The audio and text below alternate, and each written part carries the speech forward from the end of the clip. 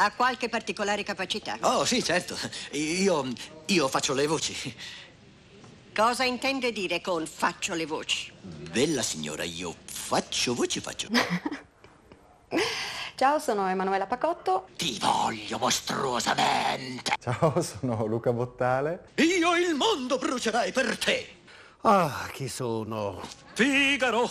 Mi chiamo Giuseppe Pirovano, Pino Pirovano, oramai nel mondo del doppiaggio sono conosciuto così da molti anni. Sì! Sono Gianluca Iacono e vi devo dire delle cose di me, suppongo.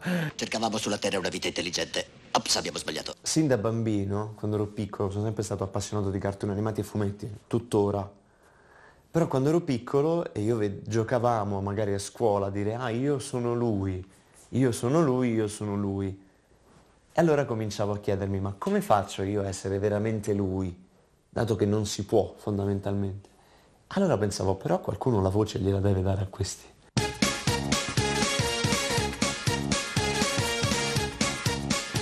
Beh, il doppiaggio è nato a Roma. Ha preso poi molto piede durante il fascismo proprio perché era bandita, la- si cercava insomma di, di- di- di evitare qualunque cosa esterofila, per cui veniva doppiato tutto, tutto, quindi si diceva Guglielmo Shakespeare, si diceva insomma tutto veniva italianizzato e anche ovviamente i film venivano doppiati tutti quanti. Questo ha fatto sì che eh, a Roma nascessero, nascessero, nascesse una scuola di doppiaggio. In fin dei conti hai trovato un altro amico, ecco tutto. Che male c'è?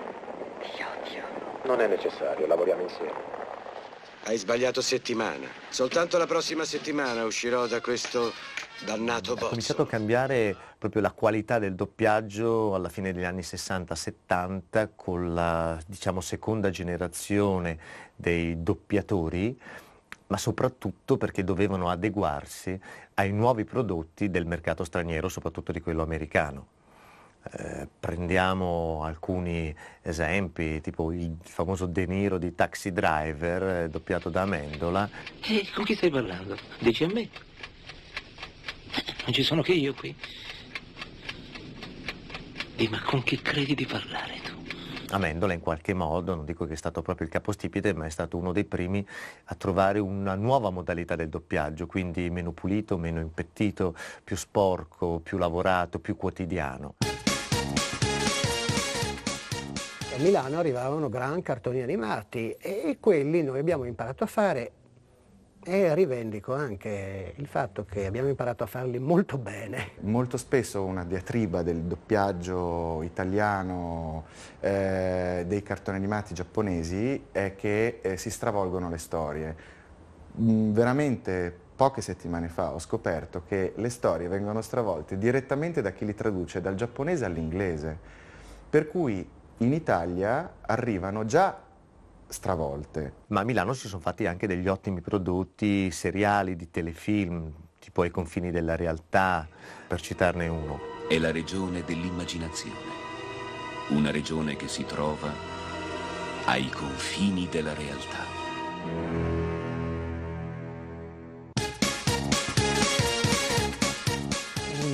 Doppiatore deve per forza essere un attore, deve essere in primo luogo un attore. E seguendo le indicazioni del direttore deve essere il più chiaro, espressivo, comunicativo possibile in spazi ristretti. È la stessa atmosfera di quando c'è l'allarme di sicurezza. Il direttore di doppiaggio sceglie una eh, rosa di persone da proporre al cliente, in genere due o tre per, per voce e si parla dei due o tre mh, personaggi protagonisti o meno, mh, se, se- se non ce ne sono così tanti. Ehm, al di là di questo, quando invece non esiste la necessità di un provino sui protagonisti, la scelta delle voci eh, viene, viene compiuta in toto dal direttore di doppiaggio. No, è tutto a posto, Mr. Quagot. Continui la cura per altre due settimane e vedrà che va tutto bene. Arrivederci. Eh, signorina, prima di far entrare l'altro paziente, devo dirle una cosa importante. Il lavoro dell'adattatore, della dialoghista, è molto importante perché un adattamento ben fatto rende la vita facile al, al doppiatore e al direttore di doppiaggio. Un altro compito del direttore è anche quello di seguire la post-produzione, eh, vale a dire assieme a chi sincronizza e a chi mixa, avere un'idea chiara del eh, lavoro in modo tale da poter dare delle indicazioni, soprattutto a chi mixa, per cercare di rendere chiaro, fruibile, comprensibile, eh, efficace il doppiaggio con quella che è la colonna internazionale fatta di effetti, di rumori e di suoni. È il regista, è il regista di questo settore. Credo anche che il doppiaggio italiano sia uno dei migliori al mondo. Non lo faccia. Indietro. Non faccia lei un altro passo. Avanti.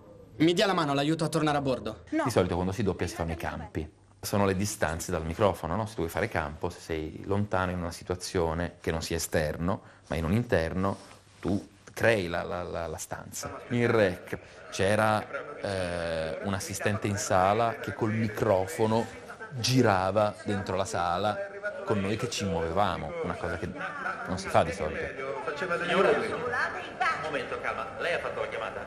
No, no. Lei ha chiamato? La chiamata l'ho fatta io. Visto che nel film era tutto girato con la camera a mano e quindi doveva dare proprio l'impressione che tu eri lì e tutto quello che vivevi lo vivevi in quel momento, lì, per entrare proprio dentro, perché quello era il giochetto. Questa è la dimostrazione che eh, se ci eh, vengono dati i mezzi per farlo, possiamo fare bene, anche molto bene.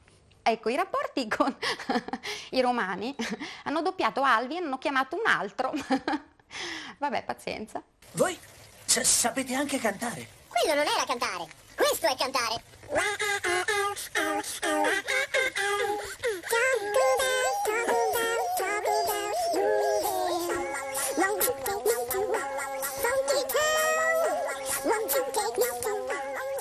Se un attore sa cantare, si cerca di affidargli anche la parte del cantato. Là fuori che darei non so, solo un giorno fuori.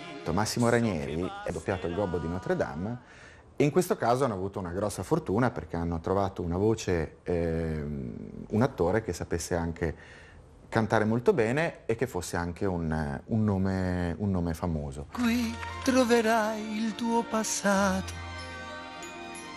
Il compito mio è finito.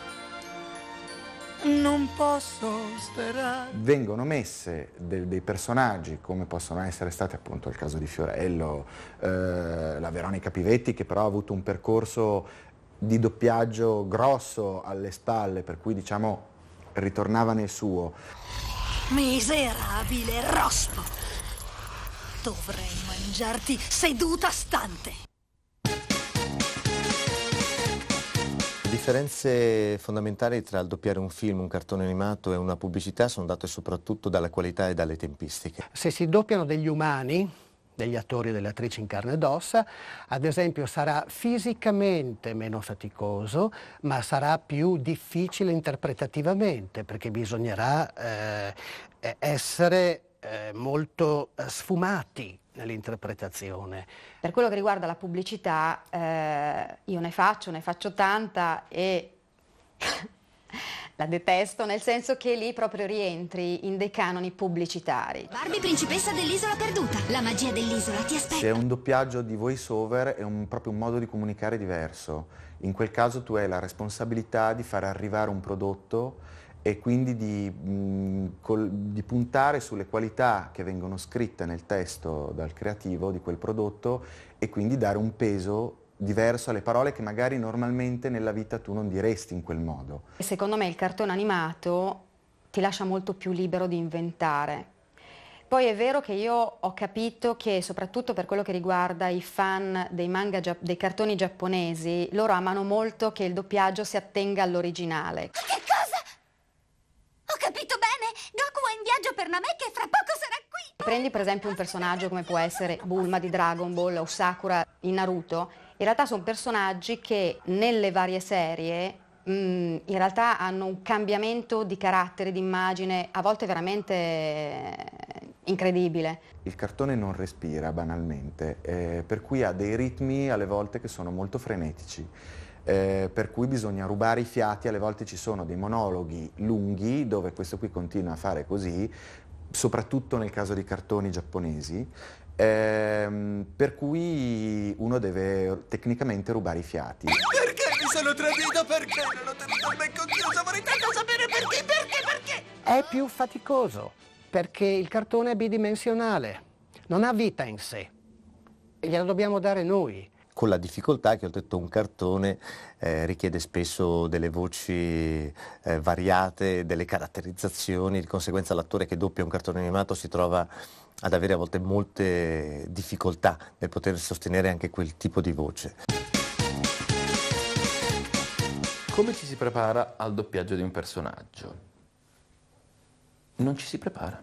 Nel senso che il più delle volte ehm, tu fai un provino, ma in genere su un anello, cioè un pezzettino che dura 20-30 secondi del cartone e quando tu arrivi ti viene spiegato in tre parole qual è il tuo personaggio. Anche se il lavoro viene fatto in 3, 4, 5, 6 turni, tu comunque nel turno dopo devi avere le stesse intenzioni e devi trasmettere le stesse cose che hai trasmesso due settimane prima. E poi sai, ci sono delle differenze minime a volte, nel senso che ci sono dei personaggi in cui magari sono un po' più giovani e quindi...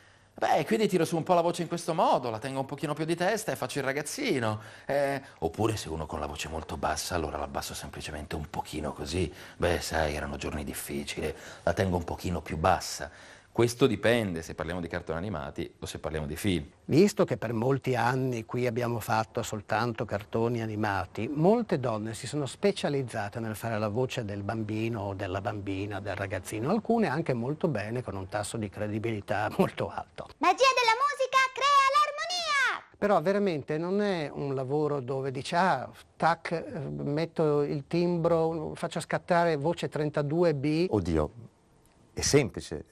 Comincio a parlare come parla Puzza e comincio a dire Ehi tu Puzza, vieni qui per favore. Poi c'è questo il famoso ciugo paciugo. Ed è, insomma, checcheggio tanto. E, e quindi ha tutte queste cose così, con questa vocina. No! Ma davvero? Dunque ragazzi, adesso andiamo di là a fare questa cosa, passo l'aspirapolvere, poi... Mmm, che carino! Oh, un uomo! Oh! E fa tutte queste cose. Ride, piange. Checcheggia tantissimo.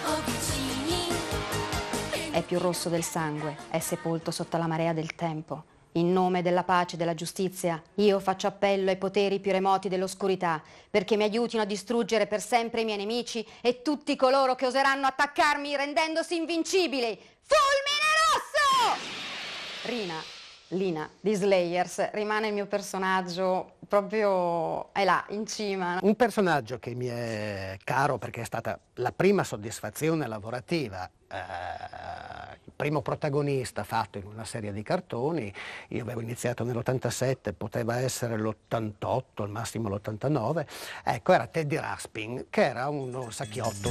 Teddy Ruxpin sa che se cercherà.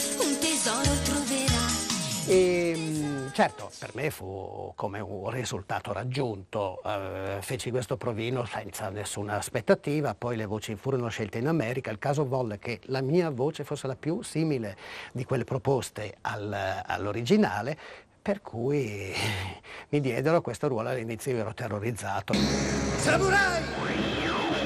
Vestizione! Giustizia! Un altro ruolo che sarebbe stato caro a molti era un personaggio che si chiamava ehm, Sami della Luce, in un altro cartone giapponese, I Cinque Samurai. Potere della luce! Poi non so, c'è Hippo di Mermaid Melody che è un, eh, un pinguino e parlava e voi siete delle principesse sirene e così. È vero che viene la faccia da scemi quando poi si fanno sta voce. Caspita, siamo in un bel guaio, siamo in un bel guaio, che facciamo? Che facciamo? Un mito, abbiamo detto, Jessie dei Pokémon, che è un po' così, un po'... Preparatevi a passare dei guai! Team Rocket riparte alla È queste cose. Porta il terrore a chiunque la senta. Quando l'ascolti ogni speranza è spenta. Siamo Jeff. E James. Mio, il mio sì che è un bel nome. Ogni benefattore uscirà sconfitto e pesto. Siamo il Team Rocket. E lo capirete presto. Pronto a migliorare le cose. Eh, la voce narrante di Norsana era questo sì, questo pipistrellino bianco. È l'ora del bagno! E dopo il bagno ristoratore? Tu non capisci mai niente, devi capire che devi fare queste cose, insomma, basta, fine, punto. Gioco la carta trappola forma del caos. Mi è sufficiente attivarla per diventare più forte. Marcel inizialmente è molto bimbo. Con l'accento francese, quindi parla così. Solo che poi si indemonia, magari a sto coso, sto alieno che lo possiede, e allora la voce si abbassa un pochino, però rimane più cattiva. Gioca le carte in questo modo e si atteggia e fa... Comunque è bastardo. Poi ci sono personaggi tipo ehm, Nami di One Piece. Nami, attenzione, adesso arrivo! No, beh, però forse è meglio se me ne vado. Ciao, ciao, torno dopo. Sta solo mentendo. Mio! Smascherato! Sentito? Che cosa ti avevo detto? Boh, io Dodoria, boh, sarà stata una roba di questo genere, credo. Guarda che la voce di Vegeta è questa, eh. Come? Vegeta, tu qui? Ciao, come va? È da tanto che non ci si vede, vero Dodoria? Maledetto Carot, ti ho detto mille volte che ti amo! Io ti amo! E quindi ti mando una bella onda energetica!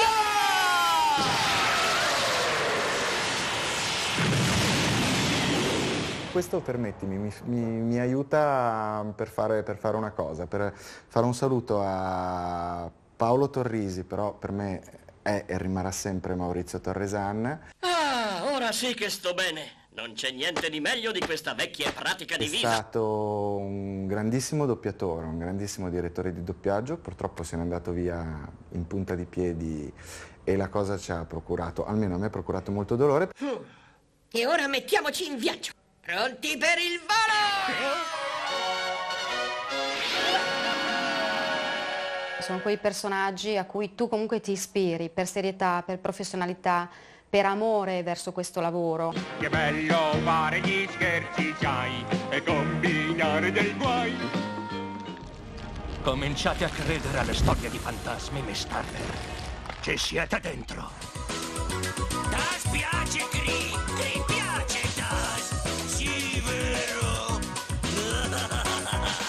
Pietro Ubaldi, che per quanto riguarda Milano, secondo me è una delle voci più fantastiche che ci possono essere, perché lui ha la- dalla sua la, la- la versatilità enorme del- del- della, della sua voce e della sua, della sua recitazione. Io ho avuto la fortuna di essere a leggio con lui tantissime volte, è stato diciamo, la persona alla quale io ho rubato di più, scusa. Pesciolini, pescioline, benvenuti a bordo del Gamebot. Per la prima volta sul Gamebot una new entry, anzi una news profondity. Il mio preferito poi è Roberto Pedicini, eh, che è la voce di Jim Carrey, Buon pomeriggio, buonasera e buonanotte. di Kevin Spacey, Tutto è cominciato a New York sei settimane fa. di Leonida in 300. Questa è Sparta! Mi piacciono quelli un po' bastardi, quelli tipo, non mi ricordo cavolo, quello che c'è in Pulp Fiction, no, nelle Iene, che è bravissimo, però non mi viene in mente, che è quello che stacca l'orecchio al poliziotto. Continuerei ad abbaiare a lungo, cagnolino, o comincerei a mordere. Novelli doppiatori, giovani doppiatori in questa fase del doppiaggio hanno qualche difficoltà in più di quanta ne abbia avuto io quando ho iniziato. Eh, Vent'anni fa c'era decisamente più tempo per poter fare la cosiddetta gavetta. Ora alcune tempistiche lavorative richiedono la capacità di essere, dire, bravi subito o comunque aderenti immediatamente a quelle che sono le richieste del doppiaggio. Sicuramente l'esperienza, eh, si nota la differenza, assolutamente sì, però non, non te la fanno pesare, nel senso che anzi cercano di aiutarti il più possibile a capire, a, a fare magari la battuta nel modo giusto. Questo lavoro lo si impara soltanto facendolo. È la cosa che dico sempre ai ragazzi. Il corso va bene perché vi dà la possibilità di sperimentarvi al microfono, di provare a doppiare effettivamente degli anelli in situazioni simili, a- molto simili a quelle che poi eh, avverrebbero, no? avverranno sperabilmente in una sala di doppiaggio. Che significa non lo farà? Non creda di potermi venire a dire quello che farò o quello che non farò. Lei non mi conosce. Beh, l'avrebbe già fatto. Adesso quando lo rifacciamo, comunque ai scopi nostri, diciamo così, didattici, per imparare, eh, ai- aiutateci, li fate, tenendo presente, ripeto, che essendo all'aperto il trattamento dei campi è un po' particolare, varia da, da luogo. E quindi possono fare eh, esperienza in questo senso, eh, avere l'impatto col microfono, con qualcuno fuori che ascolta e giudica quello che fai, con un direttore fuori che ti corregge sia tecnicamente che interpretativamente. Recentemente sono andato in un liceo artistico durante un'autogestione perché mi hanno invitato, insomma c'era questo ragazzo che conosco, mi ha detto dai vieni, vieni. Allora sono andato lì, ho doppiato una scena di Vegeta dal vivo in quest'aula in cui c'erano tutti questi ragazzi che hanno avuto, vabbè, dai 16 ai 19 anni, dai 15 ai 19 Mi sentivo Johnny Depp. Io sono il grande Vegeta! Domanda finale! Io devo dire, ehm, nonostante faccia la doppiatrice, eh, ci sono delle cose che eh, un po' per vederle il giorno dopo che sono uscite, un po' perché coi DVD, insomma, mi piace vederle in lingua originale. E molte volte trovo che comunque il doppiaggio eh, porti via delle cose. Se il prodotto iniziale è un film per il cinema con straordinari attori e, e quindi io il doppiaggio, nonostante lo faccia come mestiere, dico cribbio però poterlo sentire in lingua, però mi rendo conto che quanti potrebbero sentirlo in lingua? So io, il 2%, il 3%. Detto questo, ci salutiamo e baciamo? Lei si considera molto divertente? Poi mi sento un gran figo. No. Sì, lo credevo. C'era un tempo che io mi trovavo divertente, però oggi lei mi ha aperto gli occhi. Grazie. Ah, cosa fai? Il doppiatore?